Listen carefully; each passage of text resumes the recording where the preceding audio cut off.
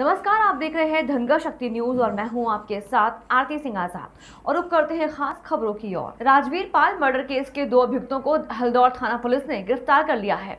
गाँव खातापुर थाना हल्दौर राजवीर पाल पर गोली मारकर हत्या कर दी गई थी, जिसमें आज पुलिस को सफलता हाथ लगी है। हत्या में वांछित अपराधी हिमांशु और बाल अपराधी अनमोल को हत्या के आरोप में गिरफ़्तार किया गया है। पुलिस की पूछताछ में उनकी निशानदेही पर घटना में प्रयुक्त एक तमंचा तीन सौ 315 बोर, एक खोखा कारतूस, एक सोने का ओम, मृतक का पर्स बरामद किया गया। मृतक राजवीर पाल प्रतिदिन दूध के लिए गाँव में जाता था। वह अनमोल की बहन से उसके प्रेम प्रसंग थे। इस मामले को लेकर परिवार में कई बार झगड़ा भी हुआ। इसी रंजिश को लेकर प्रेमिका के भाई अनमोल व हिमांशु ने मिलकर उसकी हत्या की योजना बनाकर हत्या को अंजाम दिया था। यह जानकारी डॉक्टर धर्मवीर पुलिस अधीक्षक बिजनौर द्वारा प्रेस कॉन्फ्रेंस कर दी गई। गिरफ़्तार अभियुक्तों को मर्डर केस दफ़ा 302 में जेल भेजा जा रहा है। यह जानकारी डॉक्टर धर्मवीर पुलिस अधीक्षक बिजनौर द्वारा प्रेस कॉन्फ्रेंस कर दी गई। गिरफ़्तार अभियुक्तों को मर्डर केस दफ़ा 302 में जेल भेजा जा रहा है। हल्दौर थाना इलाके में मर्डर हो गया था तीन दिन पहले। क्या पूरा मामला?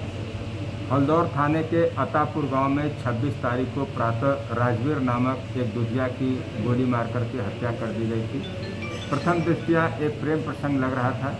घटना का अनावरण स्थानीय पुलिस द्वारा, स्वास्थ्य टीम द्वारा किया गया है। एक लड़की के साथ राजवीर का अंतरंगता, दोस्ती एवं गाँव में आसपास बदनामी होने लगी। लड़की के भाई द्वारा अपने चचेरे, तहरे भाई हिमांशु और विशु से इसकी योजना बनाई गई। योजनाबद्ध तरीके से इनको गोली मारी गई।